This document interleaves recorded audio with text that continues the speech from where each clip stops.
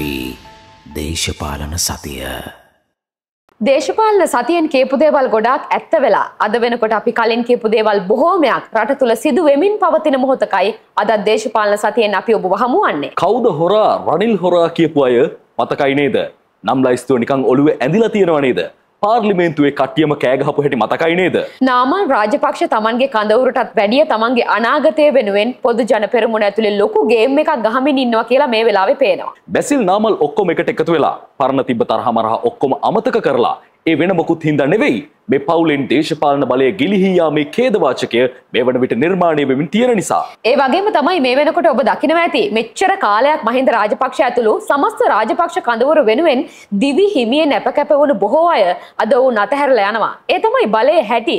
බලය තියෙනකොට මිනිස්සු කොච්චර ආවත් බලය නැති වෙනකොට හෙමින් මාරු වෙන එක ලෝක දහමක් බව අද ඔබට තේරුම් කරලා දෙන්නේ පොදු ජන පෙරමුණට සිදු වෙලා තියෙන තත්ත්වයක් එක්ක. ඒ විතරක් නෙවෙයි බොරලගොඩ සිංහයා අපේ අගමැතිතුමා කොච්චර නම් රනිල් වික්‍රමසිංහට විරුද්ධව වැඩ කරපු කෙනෙක්ද දැන් ඔන්න එතුම ප්‍රමුඛ එතුමගේ පක්ෂයත් සූදානම් වික්‍රමසිංහ දිනවන්න. මාතර තිබුණු දිස්ත්‍රික් රැස්වීමේදී කාංචන යෝජනාවක් සම්මත කරගන්නවා. රනිල් වික්‍රමසිංහ මහත්තයාව ජනාධිපති අපේක්ෂකයෙක් කරන්නත් ඒ වගේම පක්ෂ ලේකම්වරයා විදිහට රමේෂ් පතිර නැමතිවරයාව පත් කරන්නත්. මේ වගේ රටේ දේශපාලනය උඩු යටිකුරු වෙන සිදුවීම් බොහෝමයක් ගෙවුණු සතිය තුළ සිද්ධ වුණා. ඇත්තටම මේ වෙලාවේ පොදුජන පෙරමුණේ මෙච්චර පිරිසක් රනිල් වික්‍රමසිංහට සහයෝගය දෙන්න හේතු වුණේම නාමල් රාජපක්ෂ. ඇයි අපි එහෙම කියන්නේ? නාමල් රාජපක්ෂ ඊළඟ විපක්ෂ නායක වෙන්න තමයි මේ ගේම් එක. නාමල් විපක්ෂ නායක වෙලා ඉතින් නාමල් යටතේ ඉන්න කලින් ඉඳන් පාර්ලිමේන්තුවේ හිටපු අනිත් මිනිස්සුත් නිකන් ඉන්නවද? අන්න ඒ නිසා මේ වෙනකොට බොහෝ පිරිසක් පොදුජන පෙරමුණට ආයිබෝවන් කියන්නේ මේ නාමල් රාජපක්ෂ මේකේ ලොක්ක වෙන්න දඟලන දැඟලිල්ලත් එක්ක. ගොඩක් මන්ත්‍රීවරු ගිහිල්ලා මහින්ද රාජපක්ෂ හිටපු ජනාධිපතිවරයාටම මේ කතාව කියලා තියෙනවා කියලාත් අපිට ආරංචි. ඒ කියන්නේ මේ විදිහට මේක කරන්න බෑස ඇයි මේකට ඉඩ දීලා තියෙන්නේ? ඒ නිසා ගොඩක් මන්ත්‍රීවරු ගිහිල්ලා මහින්දව හම්බ වෙලා තමන්ගේ විරෝධය ප්‍රකාශ කරලා තියෙනවා. රනිල් වික්‍රමසිංහ වටා මේ තරම් පිරිසක් ගොනු වෙන්නේ කොහොමද? අන්න ඒක තමයි ඊළඟට දේශපාලනික ප්‍රශ්නය බවට පත් වෙලා තියෙන්නේ. මෙච්චර ගොඩක් රනිල් වික්‍රමසිංහ පිටිපස්සට එන්නේ මොකද? ඒ ගොඩක් අයට යන්න වෙන කදවරක් නැති නිසා. සමගි ජන බලවේගේ නරයයි මෙයයි කියලා කිව්වට සමගි ජන බලවේගයෙන් නම් මේ වෙනකොට කවුරුත් යන පාටක් පේන්නේ නැහැ. ඒ නිසා මේ වෙද්දි පොදු ජන පෙරමුණේ අයත් රනිල් වික්‍රමසිංහට බලපෑම් කරනවා. අර කතාවට උත්තර දෙන්න තාමත් රනිල් වික්‍රමසිංහ කඳවුරට බැරි වෙලා. දැන් මේ වෙද්දි පාර්ලිමේන්තු බලය පිළිබඳ ප්‍රශ්නයක් එනවා. ඒ කියන්නේ පාර්ලිමේන්තු බහුතරය රනිල් වික්‍රමසිංහට අහිමි වෙයිද? මොකද හේතුව දැන් දිනේෂ් ගුණවර්ධන අගමැති වෙලා දිගටම ඉන්න පුළුවන්ද කියන එක. අනිත් එක තමයි පාර්ලිමේන්තු බලය අහිමි වුණොත් දිනේෂ් ගුණවර්ධන කොහොමද අගමැති විදිහට තියාගන්නේ? පොදු ජන පෙරමුණ මේ වෙද්දිම කියලා තියෙනවා පක්ෂ ප්‍රතිපත්ති වලට පරිබාහිරව යන අය පක්ෂය නිවත් කරනවා කියලා. එහෙම තත්ත්වයක් උඩ දිනේෂ් ගුණවර්ධනට ගන්න තීරණය මොකද්ද? මෙන්න මේ දේවල් එක්ක යළිත් වතාවක් පාර්ලිමේන්තුව ඇතුළෙත් උඩු යටිකුරු වන සිදුවීමක් සිදුවේ හැකි කියන එක තමයි අපගේ නම් මතය. වී දේශපාලන සතිය ඒ වගේම තමයි මේ වෙනකොට සමගි ජන බලවේගයේ අභ්‍යන්තරිකවත් විශාල වැඩපිළිවෙලක් ක්‍රියාත්මක වෙමින් තියෙනවා. ඒ කියන්නේ වෘත්තීය සමිති සහ සිවිල් සංවිධාන බොහෝමයක් ඒකරාශී කරගෙන දැවැන්ත කඳවුරක් සූදානම් වෙමින් තියෙනවා. විශේෂයෙන්ම මේ පාර ජනාධිපතිවරණයේ තීරණාත්මක ජනාධිපතිවරණයක් බවට පත් වෙනවා නියතයි. ඒකට හේතුව තමයි කඳවුරු කිහිපයක්ම ශක්තිමත් වෙමින් පැවතීම. රනිල් වික්‍රමසිංහට සහයෝගය දක්වන විශාල පිරිසක් ඉන්නවා. ඒ වගේම පොහොට්ටුව තුළ නාමල් කඳවුරක් ගොඩනගන්න උත්සාහ කරනවා. ජාතික ජන බලවේගයත් මේ වෙද්දි දැවැන්ත කඳවුරක් නිර්මාණය කරලා. එහෙම බලනකොට මෙවර ජනාධිපති වෙන්නේ කවුද කියන එක පැහැදිලි ප්‍රශ්නයක් බවට මේ හැමෝටම තේරුම් ගිහින් තියෙනවා. ඒ වගේම තමයි මැතිවරණ කොමිසම මේ වෙද්දි කාර්යක්ෂමව ක්‍රියාත්මක වෙනවා. මේ සියලු දේත් එක්ක අපිට නම් පේන්න තියෙන්නේ මැතිවරණයට දාන්න හදපු බාල්දි ඔක්කොම මේ වෙනකොට ගැලවිලා ගිහිල්ලා අනිවාර්යයෙන්ම ඡන්දෙ තියන්න සිද්ධ වෙලා. ඒ වගේම තමයි මේ වෙනකොට පොලිස්පතිගේ ප්‍රශ්නයක් බොහෝ දුරට සමතයකට පත් වෙමින් තියෙනවා. ජනාධිපතිවරයා බොහොම ආందోලනාත්මක ප්‍රකාශයක් කරනු ලැබුවා. මේ මැතිවරණය තියන්න බෑ පොලිස්පති නැතුව කියන කාරණය. හැබැයි මැතිවරණ කොමිසම ජනාධිපතිවරයාටත් දැඩි උත්තරයක් මේ වෙද්දි දීලා ඉවරයි. සමග ජන බලවේගේ පෙරලිකාර කාන්තා චරිතයක් මේ වෙදි සූදානම් වෙනවා කරණමක් ගහන්න. ඒ කියන්නේ සමග ජන බලවේගයේ සිට යම් ආකාරයක විරෝධයක් මතු කරමින් ගම්පහෙන් එළියට බහින්න ඇය සූදානම් කියලා තමයි අපිට වාර්තා වෙන්නේ.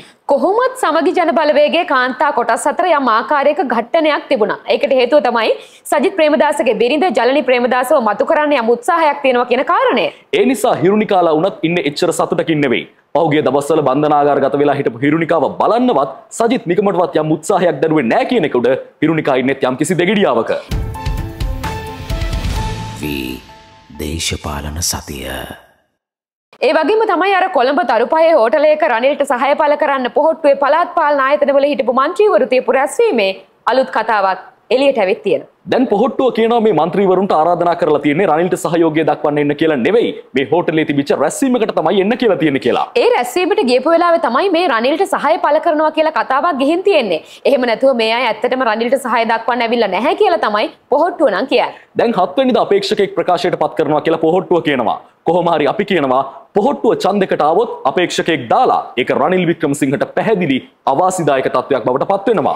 ඒ කියන්නේ රනිල් වික්‍රමසිංහගේ ඡන්ද කැඩෙන එක තමයි ඒකෙන් සිද්ධ වෙන්නේ. ඒ නිසා පුළුවන් තරම් පොහොට්ටුවෙන් අපේක්ෂකයෙක් නොදා ඉන්න තරමට රනිල් වික්‍රමසිංහට වාසිදායක තත්වයක් තියෙනවා කියන කතාව රමේෂ් පතිරණත් පිළි අරගෙන තියෙනවා. පහුගේ දවසක රාජපක්ෂ පවුලේ රැස්වීමක් වෙනමම තිබ්බා.